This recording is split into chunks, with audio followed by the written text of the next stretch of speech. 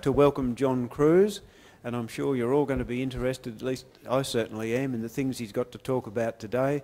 So, Jon, thanks very much for coming along, and it's over to you. All right, thank you.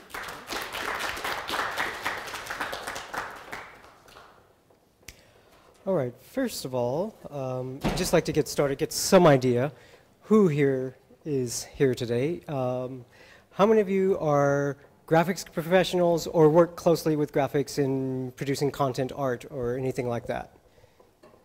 A uh, couple.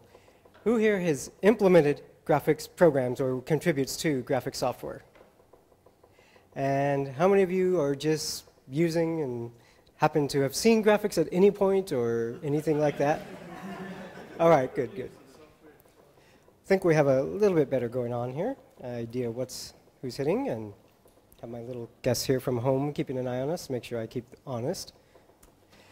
So first of all, this is going to be covering a little bit about color management, what it is, why it matters to open source and to you as an individual. There's going to be a lot of different reasons someone might be interested, but chances are most people are. The question though is, what is color management? Now that's where the case of it's simple, but not necessarily easy. The primary goal is just to get consistent uh, visual output across whatever medium you have, video, print, inkjet, photos, display. Um, and you want to match the output from different devices to be consistent. Now, traditionally, the perception has been that uh, color management is really something that really only the abstract uh, arcane professionals off in their print house and professional services groups care about, and that it's the ma mathematical experts off in university, they care about it, but uh, really many who really should benefit from at least some color management are missing out. Now, there are many people who need color management but don't realize it probably one of the biggest um, groups are businessmen. There are so many deals that go out dependent on color that the executive or the salesperson or whoever may not quite know, where you have to go and you're trying to pitch your company's services to a large company. You make a sales presentation with their logo, but you get their color wrong. And the person who's in interviewing you to possibly hire your company is the one who hired the graphic artist and who spent three months back and forth trying to get that exact say, shade of fuchsia. And if you mangle it, they're going to hate you. You know, all sorts of things like that. Uh, home users. This is a new, hugest market being overlooked right now. Is that most people um, nowadays really have digital images and digital asset management and they don't know that they're running that. Like, how many people here have a digital camera? Pretty much, or a cell phone that can take pictures. That counts. right, or a video camera. So all those start to come in and you start to collect all this up. And then when you, as a home user, used to be you had your pictures, you, you, maybe shoot your video camera and you run it on your home VHS player hooked up to your TV when people come over to your house and that's it. So everything was yours and in control. But nowadays, you go out, you want to put it up on your uh, MySpace page or your blog, or you want to go out to uh, YouTube or throw it up on a photo sharing site, or get get prints from many of the online services. Even the corner drugstore now will do online one-hour prints for 20 cents a print. So you're hitting all these other devices. And one of the biggest ones is that there are certain companies who provide a main service for their graphics assets and utilities where, oh, you just throw together your photo album and they'll professionally print and bind it and send it directly to your grandparents, your in-laws, whoever. Uh, the problem there is if it's not quite right, you get the call back right after Christmas. So is little Timmy really that green nowadays? So that starts to kill. And then any company selling product over the internet. Anyone buying. As a home consumer, that, that comes back to anyone buying. So the number one, traditionally, the number one reason for returns of online sales is color. The shoes are not the right shade of red that you saw. The sweater is wrong. You know, it just won't work. So the current state of things right now is that the main operating system vendors, mm, people here know who that is, basically Microsoft Windows and Apple OS 10, they have long-running solutions and they've hit these problems over and over and they've had enough average consumers and professional consumers and business consumers to have taken care and incorporated the third-party vendors' feedback and fixed it. Um, Linux has been lagging seriously through these past years. It's, um, and even, especially with running on top of X11, has all sorts of complications that other situations might not. For instance, right now, I have two computers running up here. my presentation computer is hooked to the projector. My real computer is next to it. It's running RemoteX so that when I want to run a graphics app, its display is physically running here, but the program is physically running here, and if I don't have it all right, it'll just get confused. so where do, for basics, where do we fall? Well, the most basic is to eyeball it. You just bring up your camera and you twist that little color balance knob or your brightness, contrast, whatever, till you think it's about right and you go. That's been sufficient somewhat, but not anymore.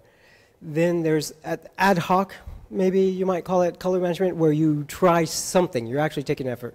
For people using video cameras, the classic is you get a white piece of paper so you're going to shoot Christmas with the family. You put the paper there. You point your video camera at the white paper. You hit your white balance button. It tunes up a little. Everyone's not quite as orange, and you're happy. Or for doing photography, you might put a gray card or a black and white card where you're going to be shooting. Take a couple shots so that when you go to work on your digital darkroom, you know how to tune it up and adjust. And also for color photography, you, there are color reference cards you can buy that have 8 or 16 color spots. So you lay it there where you're going to shoot your still life, take your pictures, and then you, you have a reference point.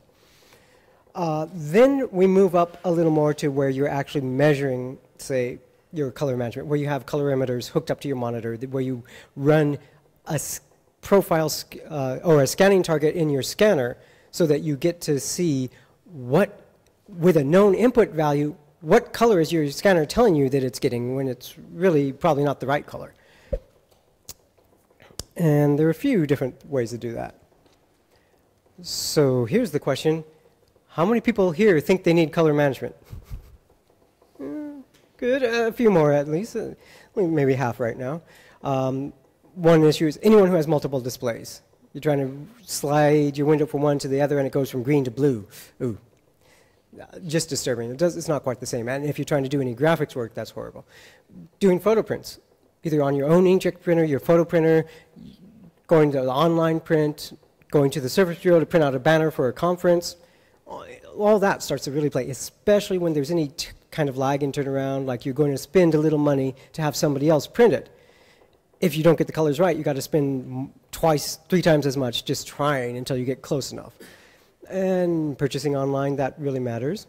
Sharing images, a lot of that going on nowadays. So I would wager that probably everyone in here and most people have at least some need for basic color management uh, if you have eyes in a computer. even, if you, even if you're completely colorblind, managing the grays is important and will help you see things. Otherwise, you'd have difficulty and you might even miss. Uh, if you're, or, and, or, if you're contributing to open source software, from this point on, I really feel strongly if there's anything that's doing any kind of graphics, you need to at least define what your application does. Even if you don't change your code or your input or your output at all, you just declare what it is you're assuming so that somebody who's trying to fit it into a controlled workflow knows and can do the right thing. So now comes the quiz time. Quickly, who has multiple displays? Ooh, good number here, almost half, I'd say. Uh, well, what are multiple displays? That's a question. So multi-monitor setup at home, second monitor for your laptop or two monitors on your desktop, right? Or how about anyone with a second computer? I'm running both displays at the same time off one computer. Cell phone, PDA, TV, iPhone, iPod, any of those, you know, MP3 player, digital picture frame. That's a huge one that I just noticed. Just this past Christmas, those have come down to under $50 US, and they're all over. I walked into the, I walked into my corner drugstore, and they had a bunch set up on the wall, at least eight for me to choose from. Uh, and a projector, such as this, anyone who's ever running, I'm looking at one screen here, looking at the projector, hoping you see what I want you to see, or um, even a toaster. How many, peop- how many people think that's not a legitimate output device? I verified just yesterday, wanted to make sure, and there are at least four different toasters, including one at Evil Mad Scientist, that will can be used for computer-driven output, including getting your morning weather display on your toast, so you know if it's going to be sunny or not. So now I'd say the good news is, well, first of all, let's go back one. Now, how many people here have multiple displays? Just about 80, 90%. Good, good. So you realize you need it. The good news is that, the, first of all, the quality devices are affordable and common. You can get something that does pretty good picture. Used to be professional quality color camera, couple hundred US, video cameras, scanners, all reasonable now that used to be only available to high end. Uh, then the users, because they're changing to this lifestyle where there's so much more media, so much more digital, and it's so prevalent for anyone walking into the corner store and pick something up, a you know, little digital picture frame this big, or digital keychain for your, uh, to carry your pictures on instead of your wallet. That's one thing. So we have the hardware coming up. We have the consumers being confronted with it and starting to realize they, they have to do something. And then we also have the collaboration across many open source projects really kicking up in the recent, recent time. And that's where, that's where I think this crowd really needs to pay attention because you're part of that. And you should be part of this color management. And if not, for the most of you, you need to come up with at least a good excuse why not. Because it's going to be the consumers are going to ask you why. Why aren't you?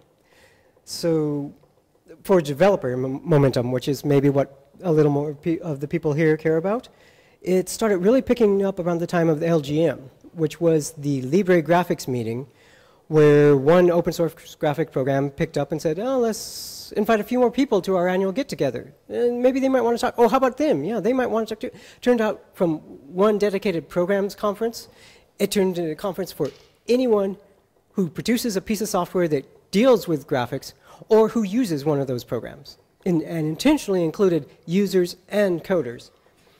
And so many more projects started adding at least some color management.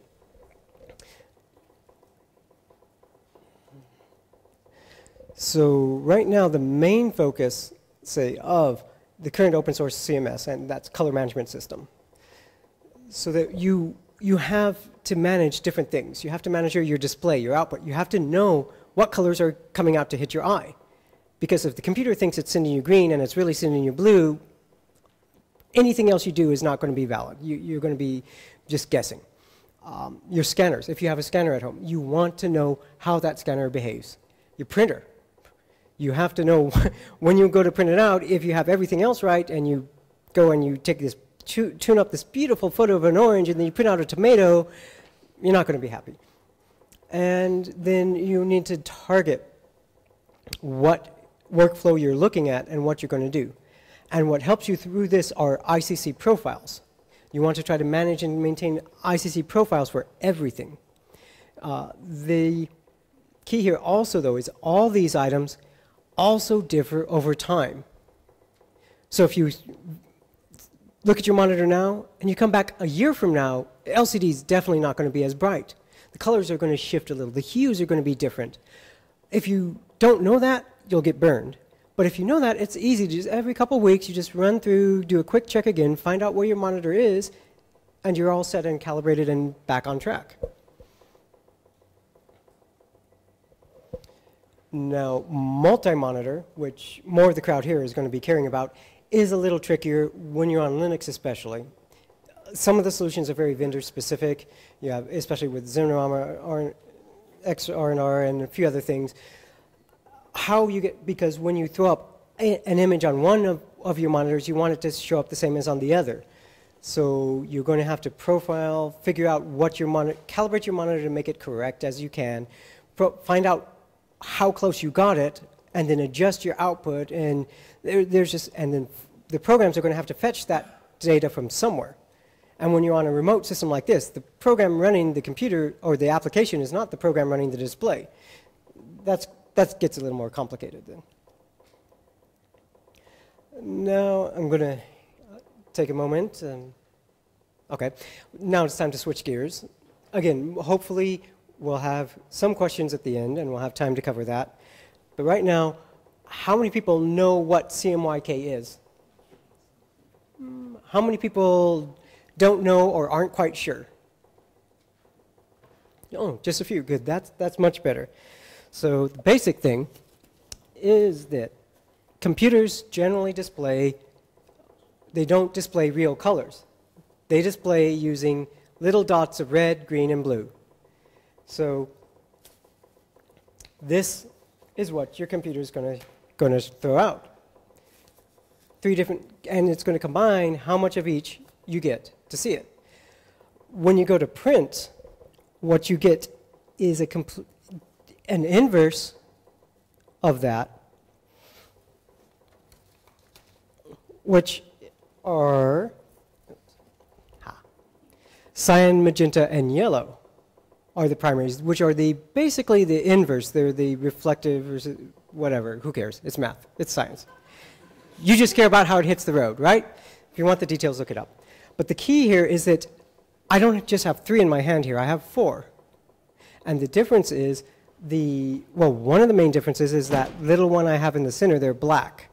That's added due to behavior of ink and different items and saturation and overlap and there are many reasons for it. If you don't know why you need it, you may not need it or you may need to look into it. Now, I was going to explain what and why that matters.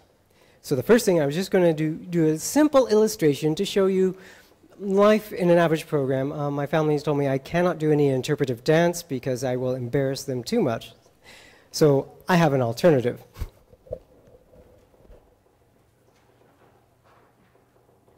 In this case, I, in this case, I'm just going to show how normal programs, graphics programs, are going to handle red, red, green, blue display and work.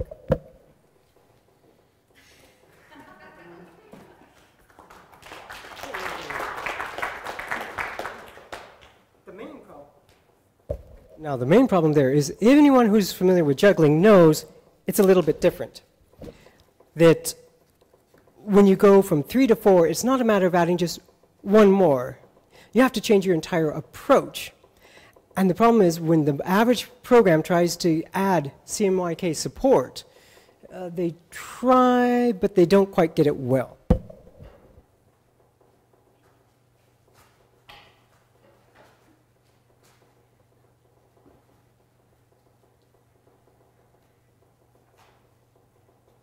So now we will have an illustration of the average CMYK program initial support.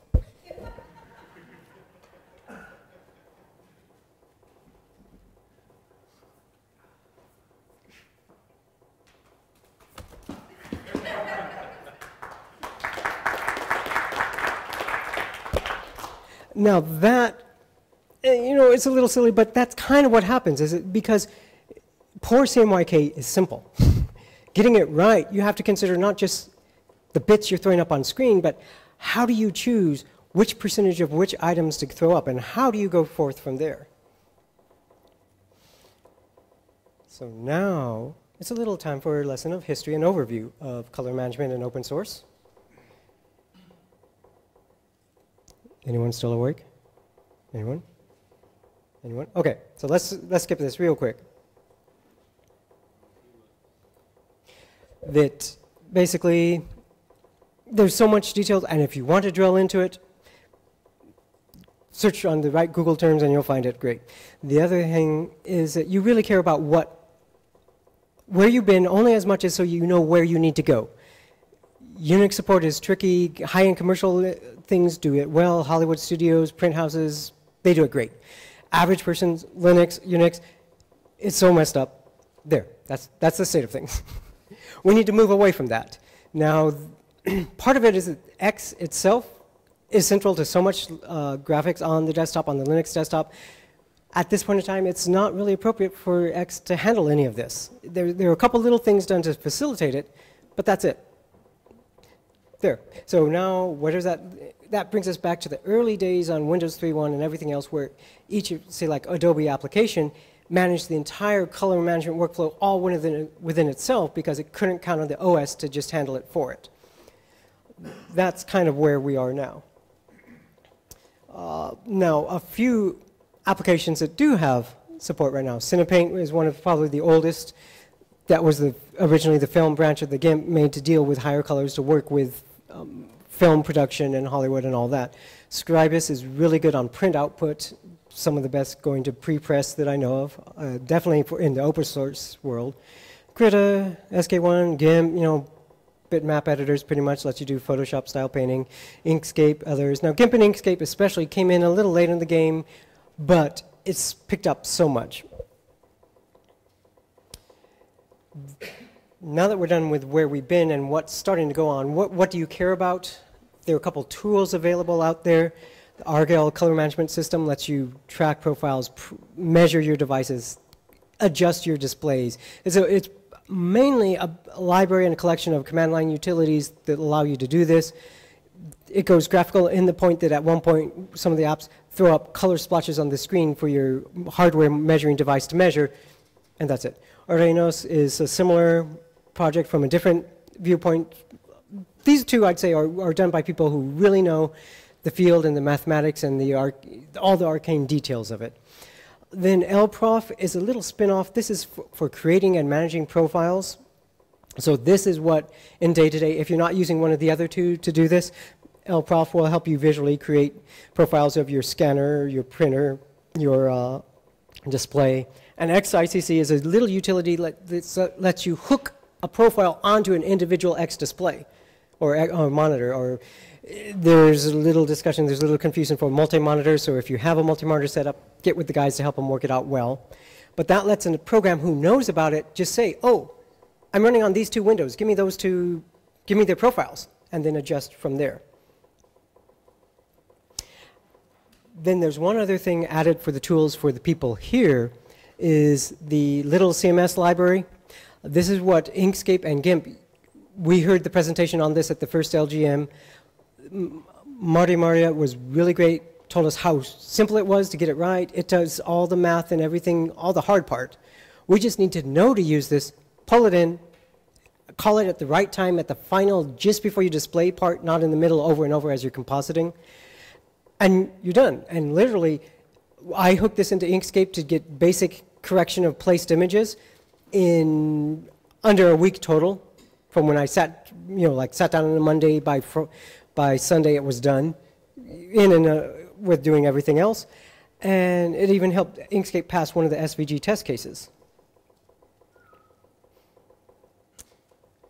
So anyone out there who's thinking about hooking something in, that's definitely, you know, at the very least, consider that. Uh, Scribus, I mentioned, is for preprint workflow. Now, this is where my history as an Inkscape developer comes in, as I care about SVG. and they need to do more. They've told us they need to do more. We know they need to do more. So it's improving, but for print, right now, it's very good.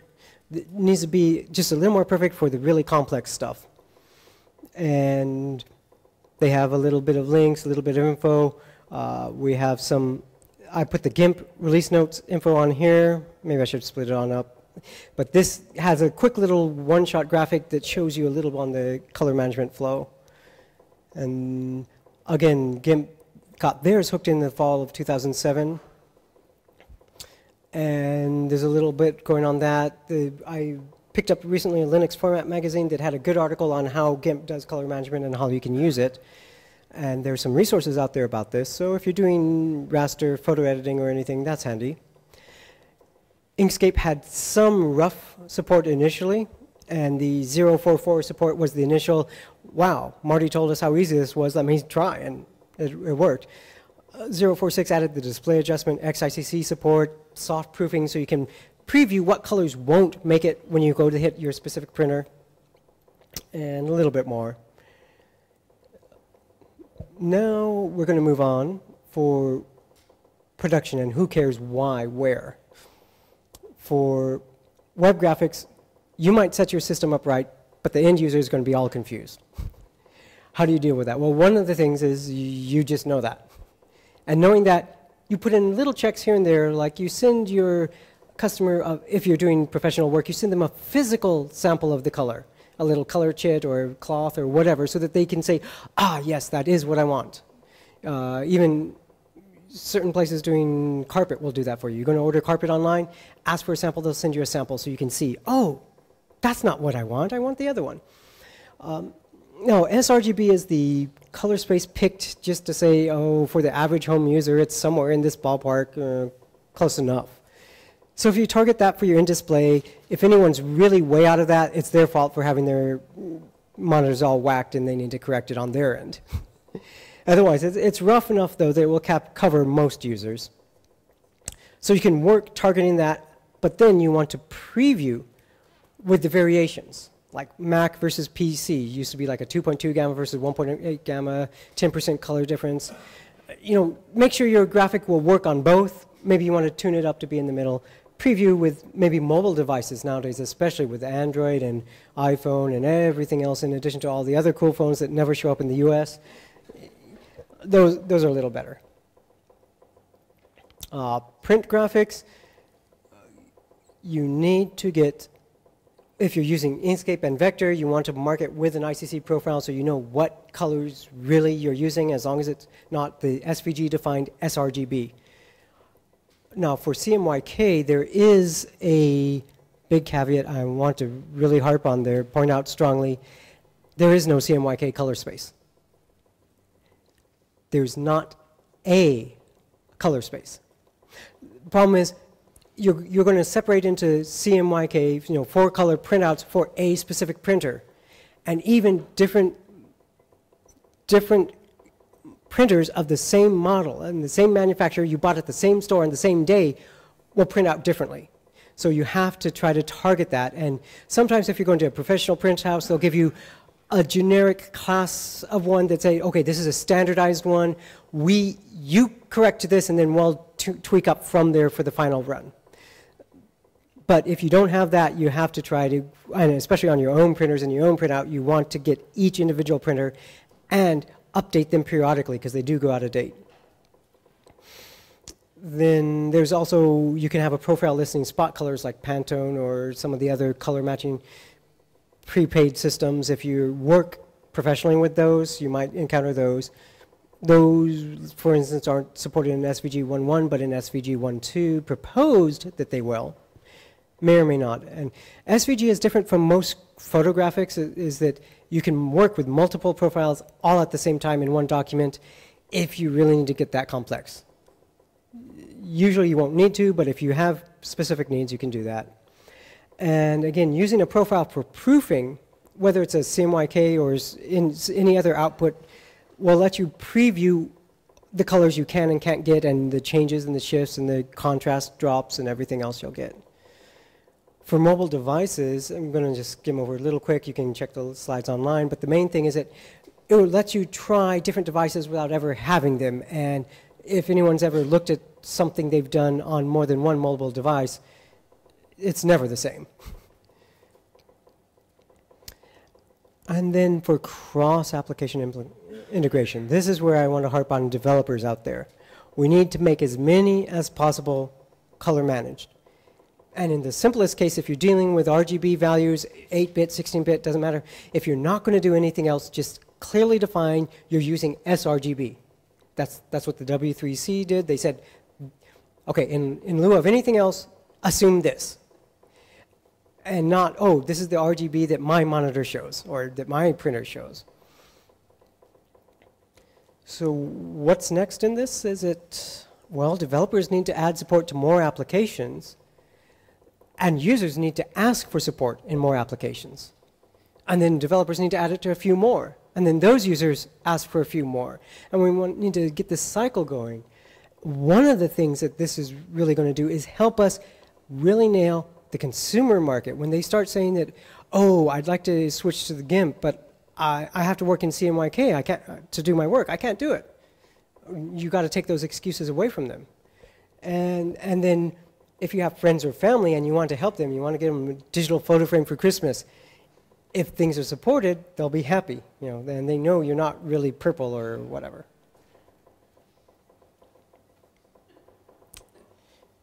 Now let's look at time, time. Oh, good. Still have a little time. So I was just going to show an illustration of the big problem here. All these points, we, we're not sure what's going on, but at the end result, you, you have an orange. Somebody on the other side of your telephone line looks at your website and sees a lemon. Mm, not good. Also, here it is. You take a picture, you bring it up on your computer. You saw, you saw orange, now it's tomato. Uh-oh, that's a problem. So you tweak it up, turn it back into an orange. Right, good. Except the problem was your monitor was displaying wrong.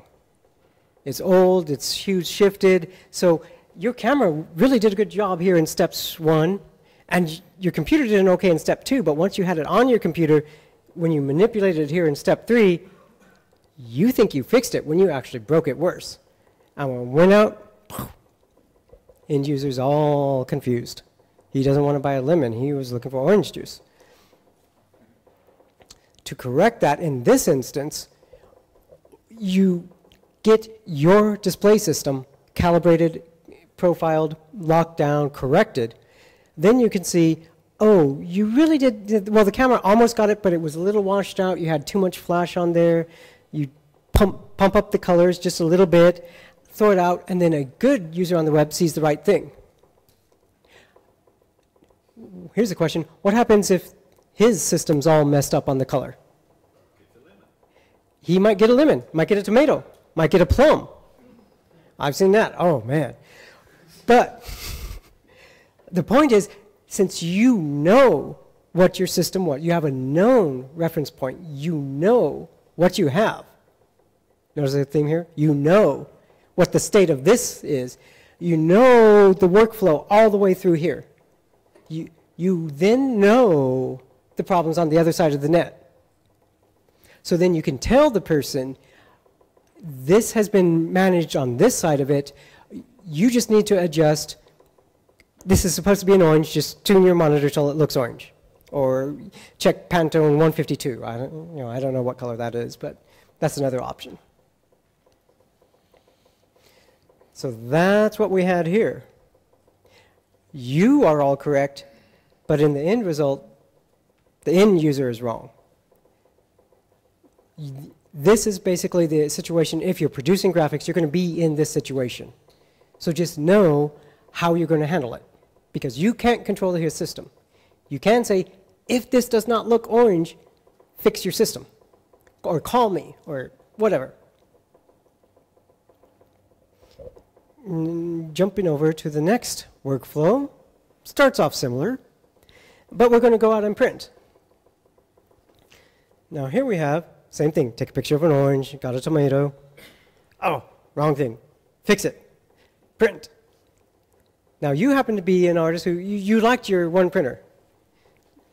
So you have one of these upstairs, you got another one downstairs, so you don't have to run up and down. So you have the two, same model, same make, same manufacturer, you know, but one's gave you, one gave you an orange, one gave you a lemon.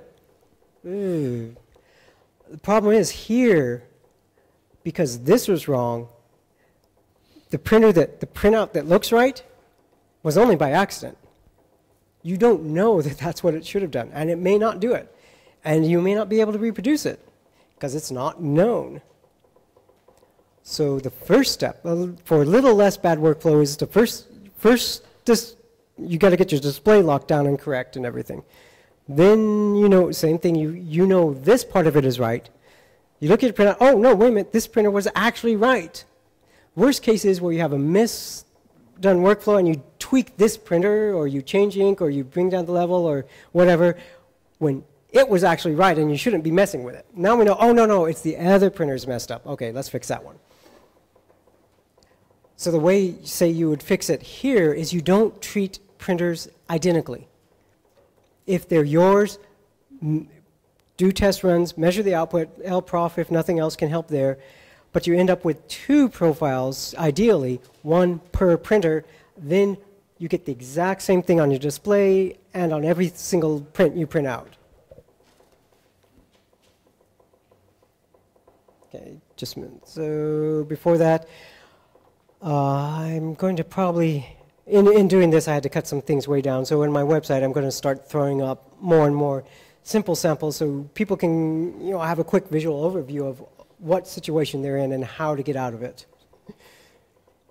But now this is to display. Well, who know, who's familiar with ICC profiles to begin with? Yeah, couple. Okay, good. Um, here are some in a sample in an application I have in my other OS uh, to be remained unnamed. It gives me this nice 3D rotatable display. So I threw up a few color profiles. Are these the same? I don't know. That they're not. They're different devices, but it's a little hard to see like that. So I decided to compare them one by one. Here I profiled my laptop display versus my old analog LCD monitor hooked up next to it. Now that I've overlapped them, say I can see that, whoa, this monitor show, this one shows a lot more color range than this one. So if I want to show a really, really aqua, aqua or cyan, cyan, or a really, really orange, orange, the, the external monitor is going to do a better job. Here's one compared to my recently new um, television. My TV is doing better color than my laptop. so if I'm going to be doing some color work, it might be better for me to hook up to my TV. HDMI, digital, better quality, higher resolution than my laptop, but, uh, and more accurate color representation. Now, here's the one that got me. I mentioned the sRGB color space. That's the W3C's standardized, close enough, average target. That's what everybody has. Well, I don't. You can see it, come, it can show all those colors. I can't. Can show all those. I can't. So one of the things this tells me in doing the, the profile is if I have my software soft proofing and doing sRGB and I've got a profile for my display, my blue blues are going to show up as gamut colors and it's going to warn me. You're not really seeing what the other people are going to see. It's going to be too dark for them. Oh, okay, I took it up. Okay, no problem. If I know what's going on. Now, here's just comparing. The colored one is my laptop LCD. The gray outline one is a CMYK printer. The shape of it is completely different. So it's not just scale of colors, it's really uncertain what kind of colors you'll get. But that's the generic CMYK. Now, do you remember I said there is no, there's not a CMYK color space? So if I try to use that color space to target my nice photo inkjet printer at home, boom, it's not going to work. The color, in this case, the color one is the generic CMYK, but the other weird one with even more range is my particular printer. Or the, the manufacturer says, for my line of printer, this is accurate. So this is going to be close. If I'm an artist, I want to actually measure the output. But in this case, you can even see the shape of it is different. The, the uh, generic CMYK shows more yellow and red than my printer can, but my red shows more, or my printer shows more purple and green. You know, you never know until you check. So, real quick. Oh, wow. Exactly on time. Okay, time for questions. Anyone in the audience have any questions somewhat related to color? yes.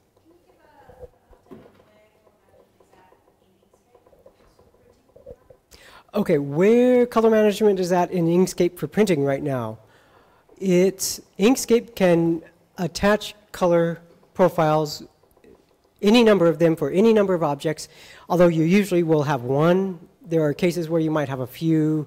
You know, we've been talking about that in mailing lists, and I told people, no, no, no, there are cases where someone will need, especially a uh, graphic professional doing print, they're the people who encounter those cases where they have a, a cutout, where they have the cover of a, something in one paper and there's a cutout to the other paper and they're doing one image for both and they want it to look close but they're printing on glossy paper on one and matte paper on the other you know, uh, cases like that.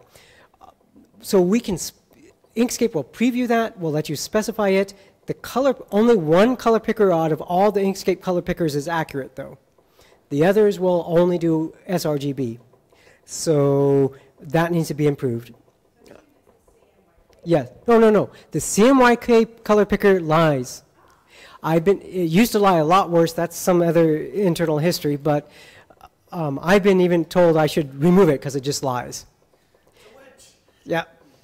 See, you can tell it's an artist who's saying that. Now, the other thing is, once you have an SVG with color specified, though, how do you hit print right now? Scribus can kind of get some things in, so if it imports into Scribus, okay, then you can go to PDF and out. PDF, unless you're targeting sRGB, won't quite work. You know, there, it still needs more work. But right now, Inkscape uses Cairo for the backend to create the PDF, and Cairo people came to Inkscape people and said, what API changes do you need to support this? So it is ongoing now. Might be months for it to show up, not years, definitely. So, and there's even a person here who was poking around on the Scribus side of things, and we have people here, and we have people, uh, oh no, no, not Scribus side of things, sorry, Cairo. So that we have someone who's poking at the guts of Cairo trying to make it happen. I've been bugging the Scribus guys to give us use cases so we know what PDFs we need to push the data through Cairo, pop out PDF, hand it to Scribus, Scribus goes to print, what does that PDF we hand off need to look like? And they're starting to give us those cases. Okay.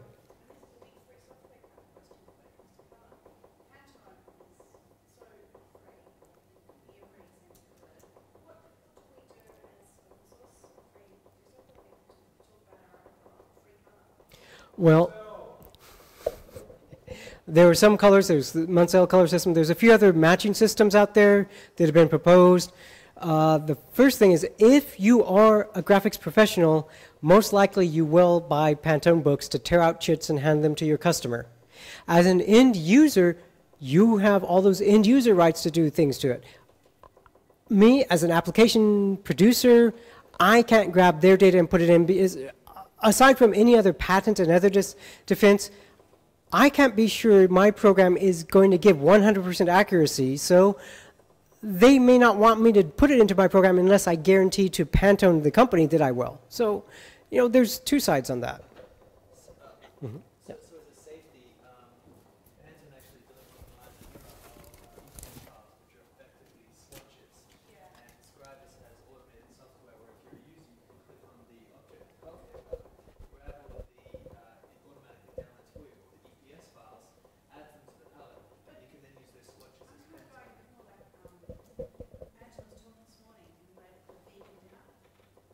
Yeah.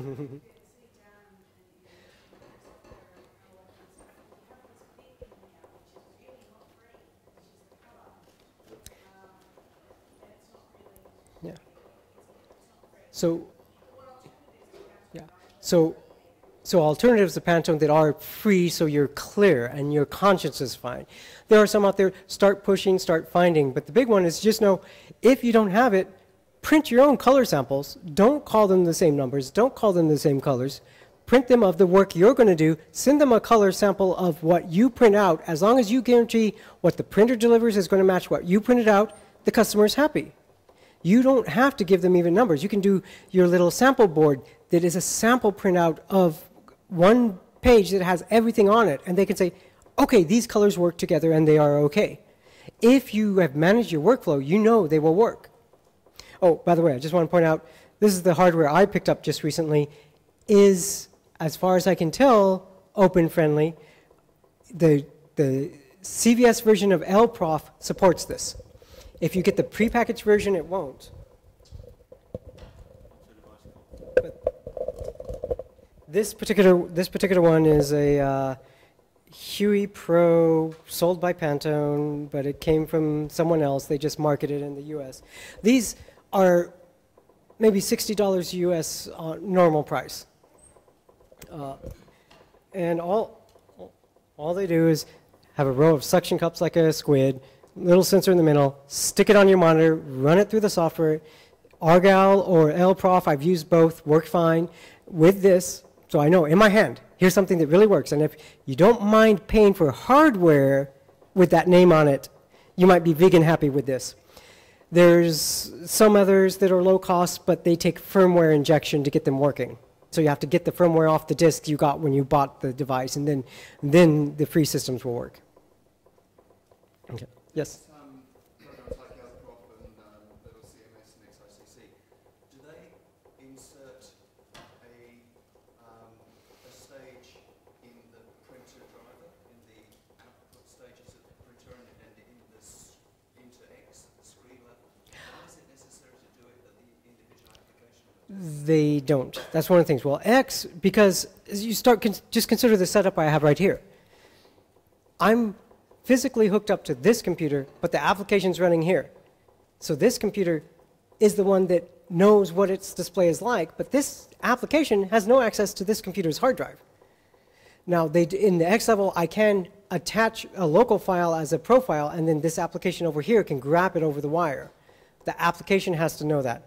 There's not any simple way for X to do it. If you want to scan mailing lists of all over or jump on somebody's chat room, they can explain. But I, I will vouch for the X developers. It's, there's no simple path that's appropriate for them to take at this time. And, and then printing there's a big mess there. CUPS needs to do a little more, and there's a few other systems. And I've been monitoring some of the mailing lists. There's an open ICC group that is a lot of these programs getting together to deal with color management. So Scrimp or GIMP, Scribus, Inkscape, other people, the Oyranos and Argyll people are all on there. And CUPS, that is an issue. How do we get the print part to work right because it's do you pre-apply it or do you post or do you change it here because you might lose data that when you get to the end printer you want you know so it's a little tricky yeah Sorry, just as a, going on from that question, is there anyone sort of working towards or starting to work towards OS level color management? Um, yes working towards os color management there um, i think Oyranos and Argyll both are trying to do it in fact i know for sure Argyll is trying to be cross-platform they want to be the appropriate platform or end-to-end all the way up solution for linux mac and windows So they don't want to be only the X solution. So, you know, they're, they're working towards that. But on the other hand, all the other individual pieces are trying to work together. And then if, say, like if the application supports profiles attached to your X display, but you never attach any because everything else is working, then the application will never do its thing. It will just keep doing its raw data and then it- it'll be handled on the back end. So there is that flexibility.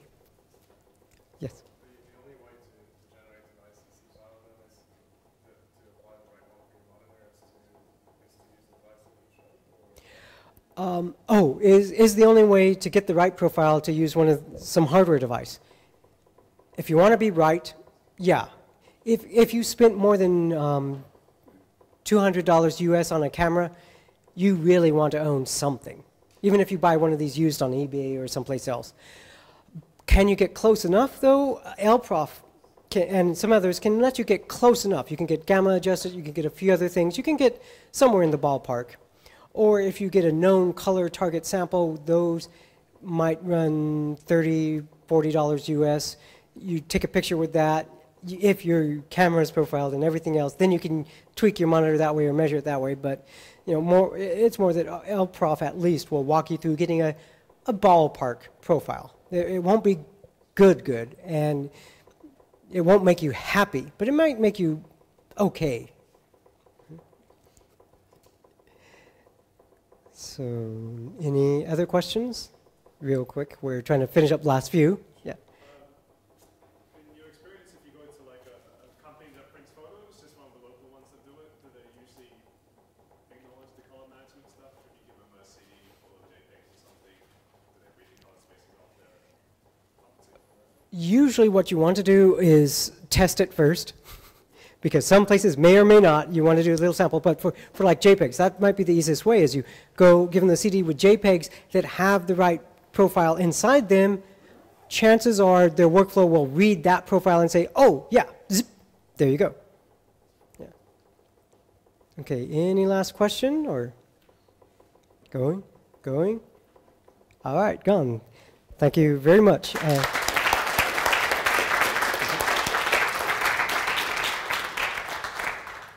Thank you, Jon. That was not only informative, it was a pleasure to listen to. oh, good. Congratulations on a great presentation. Thank you. Thank you.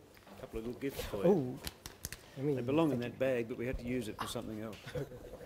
Thanks, everyone. It's uh, just a reminder, uh, in, anyone going to the uh, professional developers networking session tonight,